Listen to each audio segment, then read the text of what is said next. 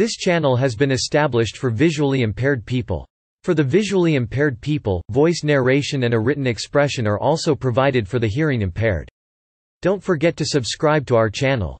Trelawny Jamaican Patois, Trilaani is a parish in Cornwall County in northwest Jamaica. Its capital is Falmouth. It is bordered by the parishes of St Ann in the east, St James in the west, and St Elizabeth and Manchester in the south Contents 1 History 2 Geography 3 Commerce 4 Notable citizens 5 References 6 External links. History In 1770, the wealthy planters in St James and St Ann succeeded in having sections of those parishes become the parish of Trelawny as they were too far from administrative administrative centers Trelawny was named after William Trelawny, the then governor of Jamaica the first capital was Martha Brae, located 3 km 19.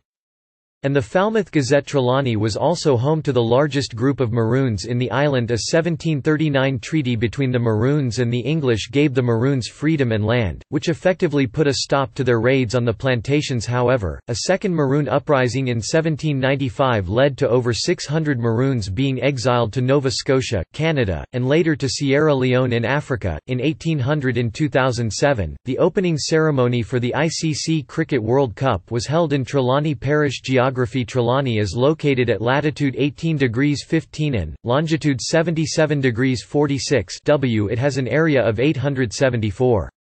Underground passages There are about 48 caves, most with phosphate gatherings these include the Windsor Cave and Karambie Cave known for its beauty and phosphate deposits there are several other caves which have Taino carvings on the walls there are also several underground conduits, with the longest running for 24 km 15.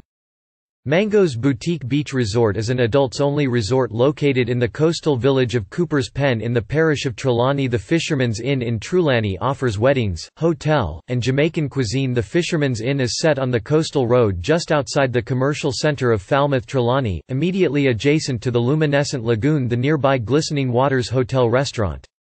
Carat AB population by parish Statistical Institute of Jamaica retrieved 16 September 2015. Clarendon Hanover Kingston Manchester Portland St Andrew St Ann St Catherine St Elizabeth St James St Mary St Thomas Trelawny Westmoreland Coordinates 18 degrees 23 and 77 degrees 38 W 18383 degrees north 77633 degrees west 18383 minus 77633